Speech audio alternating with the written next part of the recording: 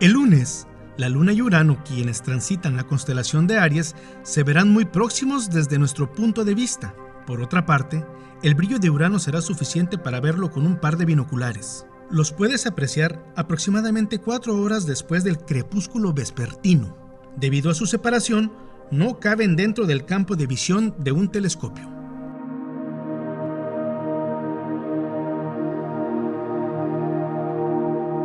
El jueves, nuestro satélite natural alcanzará la fase de cuarto creciente, apareciendo cerca del mediodía y poniéndose alrededor de la medianoche.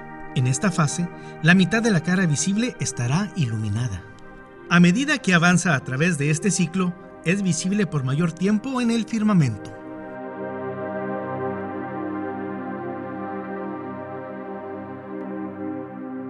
La madrugada del sábado veremos una agrupación entre Venus y Marte, estos planetas, nombrados en honor a dioses greco-romanos que fueron amantes, se observarán cercanos entre sí.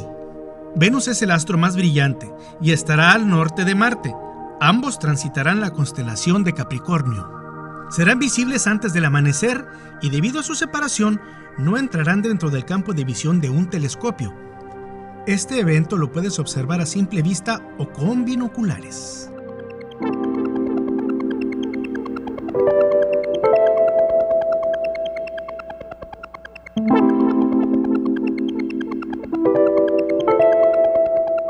Cada mes te compartimos los mejores eventos astronómicos. Elige el que tú quieras observar y cuéntanos cómo te fue. Y recuerda, siempre mirar al cielo.